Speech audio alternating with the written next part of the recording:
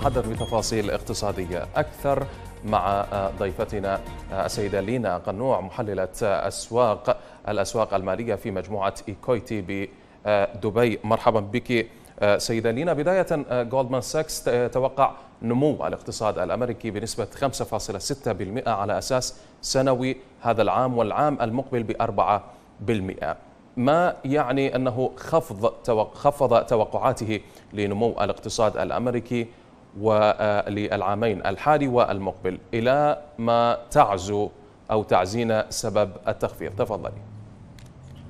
أهلا بك.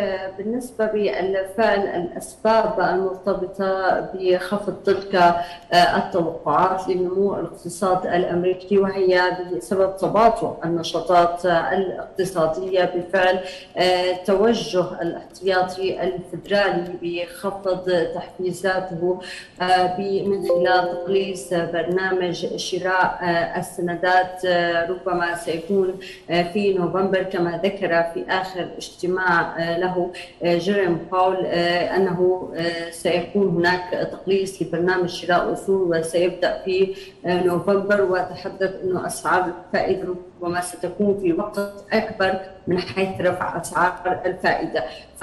خفض التحفيزات يعني هناك راح يكون تباطؤ في نمو النشاط الاقتصادي. أيضا عندنا مشكلة التباطؤ الاقتصادي العالمي وهذا ينعكس بشكل أو ينعكس على النمو الاقتصادي الأمريكي.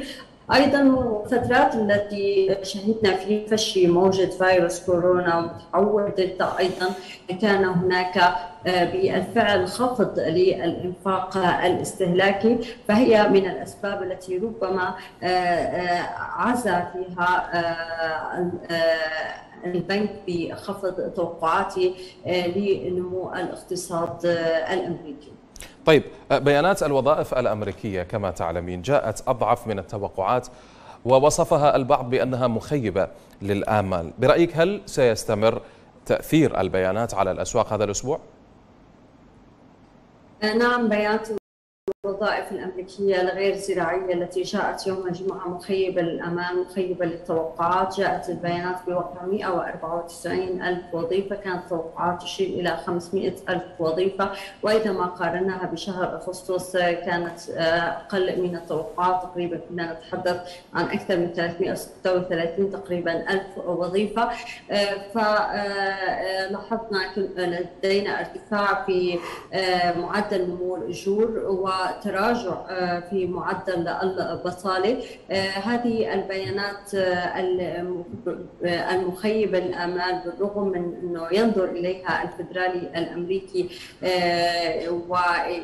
ويكون له يعني دور في تحديد سياسة تحديد تلك البيانات لها أثر وتحديد للسياسة النقدية. لها طبعا تأثير كبير على تحركات الأسواق المالية. شهدنا كيف رأينا بعض التذبذب على الأسواق المالية على الدولار الأمريكي بعض التراجعات. لكن الأسواق تتوقع أو تستبق أن يكون هناك بالفعل تقليص لبرنامج شراء الأصول. ف فنترقب أيضا محضر اجتماع الفدرالي الأمريكي ليعطينا أكثر إيضاحات حول السياسة النقدية المستقبلية. فسيكون بالفعل تاثيرات تأثيرات الوظائف الأمريكية الغير زراعية خلال هذا الأسبوع. ربما نشهد تذبذبات على الأسواق المالية ليس فقط بفعل بيانات الوظائف الأمريكية هناك طبعا عدة عوامل تتسبب بتلك التذبذبات وهو اجتماع محضر اجتماع الفدرالي الأمريكي اللي عم نترقبه هناك عدد من البيانات الاقتصادية التي سوف تصدر هذا الأسبوع. أيضا هل سيكون هناك تقليص لبرنامج شراء الأصول؟ سيكون هناك تحركات لأن إحنا عم نشوف كيف التضخم على ارتفاع. فبالتالي نعم لها تاثير بالفعل بيانات الوظائف الأمريكية على تحركات الدولار الأمريكي وأيضا على تحركات السلع ومنها الذهب. طيب هل هذا يعني بأن تقرير الوظائف السلبي سيحفز الاحتياطي الفدرالي إلى خفض مشترياته من الأصول في العام الجاري؟ هي بالعادة يعني طبعا ينظر لتلك لتلك البيانات وبيانات الوظائف الأمريكية الغير زراعية لكن الأسواق الاقتصاديين يتوقعون أن يكون هناك بالفعل تخفيض رغم البيانات الوظائف الأمريكية. حان الوقت لتخفيض برنامج شراء الاصول لأن عم نشوف كيف التضخم مرتفع ضغوط تضخمية بشكل كبير وهذا ناتج عن ارتفاع أسعار النفط وأسعار السلع بشكل عام. عم نشوف كيف التضخم بالولايات المتحدة الأمريكية نحن عم نتحدث بحسب مؤشر أسعار المستهلكين ب 5.14 في المئة. ليس فقط في الولايات المتحدة الأمريكية في منطقة اليورو في بريطانيا. فعاجلا أم اجلا البنوك المركزية سوف تضطر لكبح ارتفاع التضخم أن تضطر لبداية تجديد السياسة النقدية. والفدرالي الأمريكي سوف يخطو هذه الخطوة وهذا ما تتوقعه الأسواق بأن يكون هناك بالفعل تقليص لبرنامج شراء الأصول البالغ 120 مليار دولار شهريا. ربما سيكون في في نوفمبر. لذلك الأنظار كلها متجهة لمحضر اجتماع الفدرالي الامريكي يوم الأربعاء. فربما يعني بالفعل يعني هذه البيانات مهمة لكن لكن نتيجة التضخم المرتفع ربما يعني سيكون هناك تقليص حتى لو كانت لحتى لو جاءت تلك البيانات مخيبة للامال.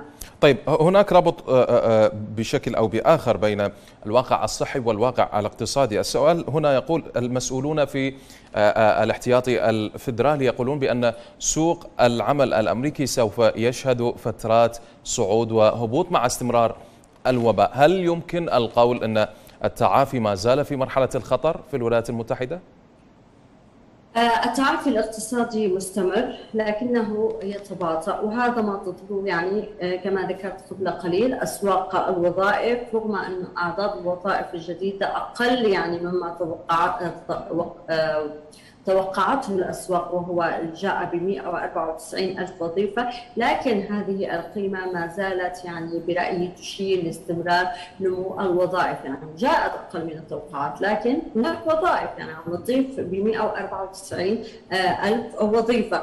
خصوصا مع انخفاض نحن معدل البطالة ونهتم بهذا المؤشر. يعني مؤشر معدل البطالة بيعطينا إنه في تراجع. يعني نحن عم نتحدث تراجع من 5.2 في المئة تقريبا إلى 4.18% وهذا فاق التوقعات بتراجع معدل البطالة. أيضا ننظر إلى معدل نمو الأجور. في هناك أيضا في ارتفاع في معدل نمو الأجور. هناك استمرار للتعافي الاقتصادي لكن هناك تباطؤ يعني بوتيره أبطأ إذا ما قارناه أو مما كان عليه في الربع الأول والثاني من هذا العام، لكن مسيرة التعافي الاقتصادي موجودة لكن بوتيره أبطأ عما كانت في الربعين الأول والثاني. طيب مخاوف التضخم ما تزال تضغط على الأسواق العالمية، هل يمكن حصر تلك المخاوف بارتفاع أسعار النفط؟ التضخم طبعا مرتفع وكما ذكرنا مؤشر أسعار المستهلكين في الولايات المتحدة الأمريكية يبلغ 5.14% فوق بي سي ال بفضل الفدرالي الأمريكي 3.19% منطقة اليورو بأكثر من 3% لدينا في بريطانيا التضخم أيضا مرتفع ب 3% طبعا نعزو هذه الارتفاعات أو الضغوط التضخمية ربما بأسعار السلع التي ارتفعت بشكل كبير وصلت إلى مستويات عالية. أسعار النفط تسبب نوعا من هذه الضغوط التضخمية ولها تأثير كبير في ارتفاع التضخم. فهو يعني فهو فهو يشكل عامل مهم في في ارتفاعات التضخم. أيضا مثلا في منطقة اليورو معدل نمو الأجور هو أيضا من الأسباب أيضا التي تؤدي إلى التضخم حيث أيضا قالت كريستين لاغارد بأنه يجب مراقبة نمو الأجور لأنه يدل على التضخم. لكن طبعا أسعار النفط لها دور أساسي في هذه الضغوط التضخمية هناك مخاوف من ارتفاع أسعار النفط بشكل أكبر مما يزيد من تلك الضغوط التضخمية ويدخل الاقتصاد في حالة ربما من التعثر الاقتصادي. طيب يعني هل هل يمكن اعتبار ارتفاع أسعار النفط يعني أكبر تهديد لارتفاع التضخم بالاقتصادات التي تتعافى لتوها من جائحة فيروس كورونا؟ آه، نعم آه، آه، نعم يعني ارتفاع أسعار النفط يشكل تهديدا لمسيرة التعافي الاقتصادي ربما يكون هناك تعثر في تعثر في الاقتصاد لأن هناك بيكون يكون له تأثير على العادات الاستهلاكية تأثير على الإنفاق الاستهلاكي. فهذا يسبب في تعثر التعافي الاقتصادي العالمي خاصه يعني في البلدان الدول التي كما ذكرتها تتعافى بداية آه، من متحور دلتا. آه، يعني هناك مخاوف الآن من من ارتفاع أسعار النفط ومن زيادة الضغوط التضخمية لأن التضخم بشكل عام آه، ليس صحي ارتفاعات التضخم بشكل كبير ربما نصل إلى إلى إلى مستويات أكبر من التضخم وهذا يعرقل آه، مسيرة التعافي آه، الاقتصادي.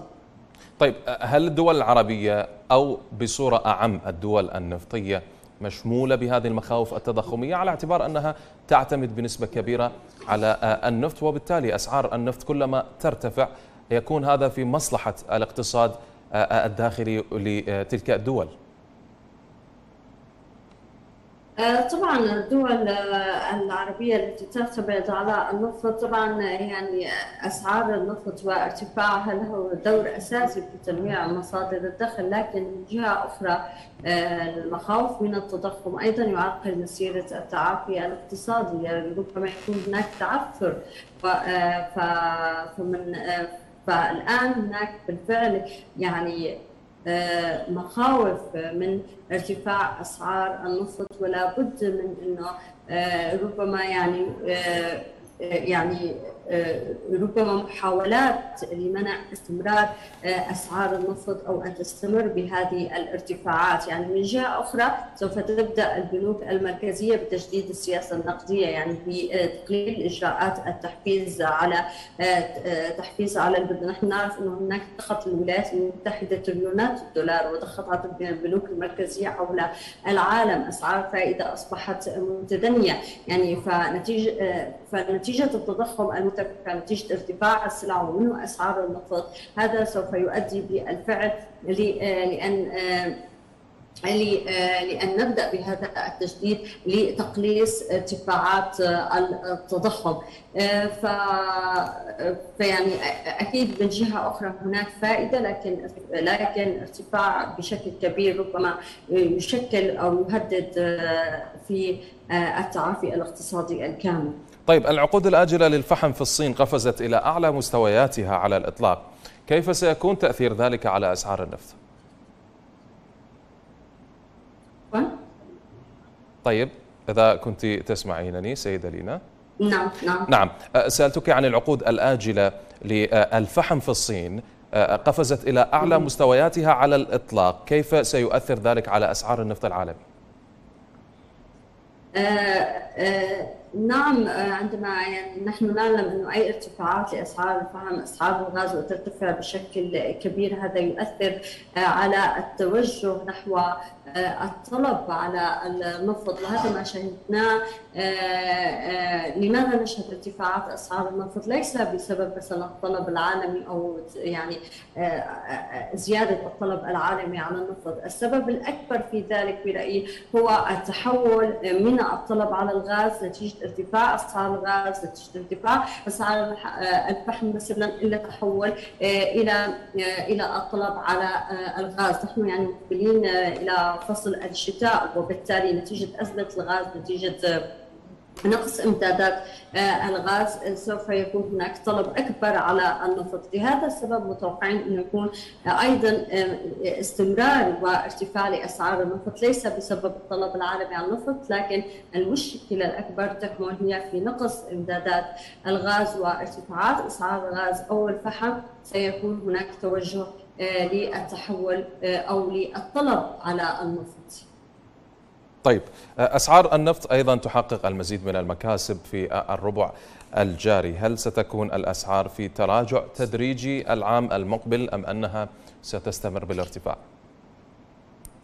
أسعار النفط بشكل عام يعني شفنا كيف الخام الأمريكي الخفيف ارتفع بشكل كبير نحن عند الأعلى مستوياته في سبع سنوات نتحدث عن أعلى أكتوبر 2014 أيضا برنت عم بيتجه لمستويات فوق ال 83 دولار. هذه الارتفاعات يعني هي توقعات بتعافي الطلب على الخام. إلى جانب في عندنا ارتفاع في أسعار المشتقات النفطية تعثر في سلاسل التوريد هي سبب من أسباب أيضا ارتفاعات أسعار النفط.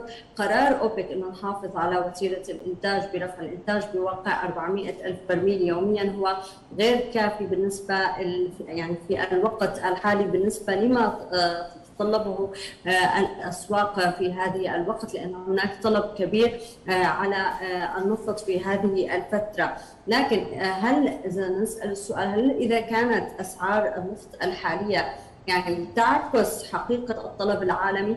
لا أعتقد أنه هي تعكس حقيقة الطلب العالمي عن النفط لأن الطلب العالمي للنفط هو ما زال ما قبل جائحة الكورونا رغم التوقعات بأن يصل الطلب العالمي على النفط في العام المقبل نتحدث عن 100.8 مليون برميل يوميا. نحن ما زلنا دون مستويات ال 100 مليون برميل يوميا. فهي المشكلة أو السبب الرئيسي وراء ارتفاع أسعار النفط والتعثر في سلاسل التوريد اللي عم يدعم أسعار النفط بشكل كبير. التزام أوبك بواقع 400 ألف برميل يوميا هو عم يدعم أسعار النفط التحول من إمدادات الغاز والتعثر في مشاكل إمدادات الغاز يعني الطلب من من الطلب إلى من الغاز إلى الطلب نحو النفط ونحن أيضا نتحدث عن نتحدث عن المقبلين في فصل الشتاء فهناك حاجة أيضا لوقود التدفئه فيمكن استبدال أيضا النفط بدل من الغاز فسنشاهد طلب على على النفط.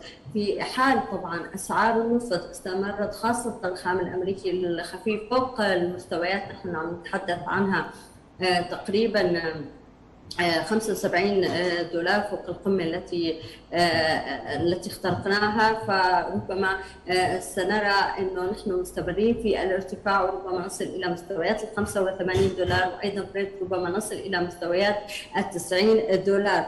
يجب أن نراقب أي مستجدات حول حول يعني يعني منع أو الحد من ارتفاع أسعار النفط وخاصة من الدول المنتجه للنفط لمواجهة أي ارتفاع لأسعار النفط لأن أسعار النفط كما ذكرت عم تسبب ارتفاعات في التضخم وهذا يعني هناك سيكون سيكون نتيجة ارتفاع التضخم وارتفاع الضغوط التضخمية أنه يكون تعثر اقتصادي وعدم تعافي اقتصادي عالمي وهذا سيؤدي يعني إلى تغير في العادات الاستهلاكية. فهذه هذا ما يثير المخاوف وربما تضطر تلك الدول المنتجة للنفط بالحد من مواجهة ارتفاع الأسعار لأن بالفعل ربما يؤثر أو يتعثر التعافي الاقتصادي العالمي ويتسبب في عودة الانخفاض في الطلب من جديد على النفط طيب بالنسبة لأوبك بلس كيف ستتعامل مع ارتفاع أسعار الخام المستمرة من جهة وضغوط المستهلكين من جهة أخرى؟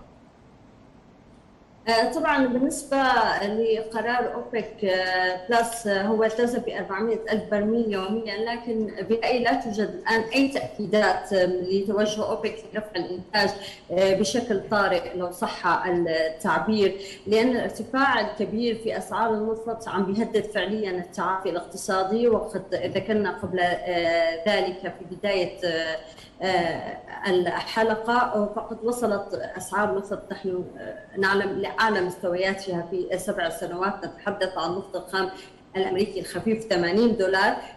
لا أستبعد أي إجراءات أو مفاوضات سياسية تتم بين الولايات المتحدة الأمريكية وأيضا بين الدول المنتجة الكبرى وخاصة بعد عم نشوف نشوف الارتفاعات عم نشوف على أسعار النفط وشهدنا خاصة سابقا مثلا انه الولايات المتحدة الأمريكية كانت هناك مطالبات من الحد من ارتفاع أسعار النفط من قبل منظمة أوبك وحلفائها.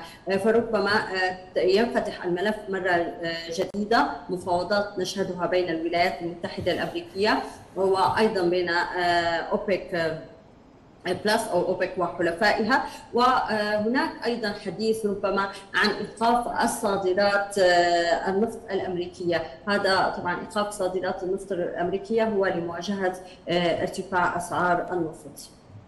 طيب الإنتاج النفطي الحالي هل هو قادر على إحداث توازن بالسوق لغاية على أقل تقدير نهاية العام الحالي؟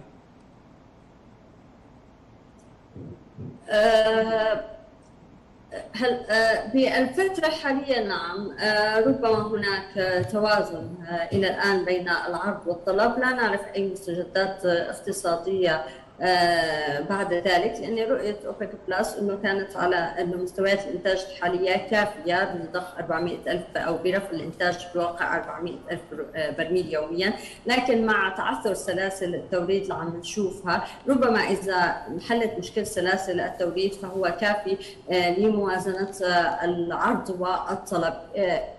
الآن يعني هناك يعني بشكل عام غير كافية مع مع الطلب العالمي مع الطلب العالمي على النفط لكن لكن نتيجة العوامل التي ذكرناها. لكن بعد أن تنحل مشاكل سلاسل التوريد وحل فهو يعتبر يعني قرار يعني صائب من قبل أوبك بلس برفع الإنتاج فقط ب 400 الف برميل يوميا لا نعلم بعد ذلك يعني نتيجة ارتفاعات التضخم أن يكون هناك بالفعل وارتفاعات أسعار النفط الكبيرة أن يكون هناك تدخل بشكل طارئ من قبل أوبك بلس.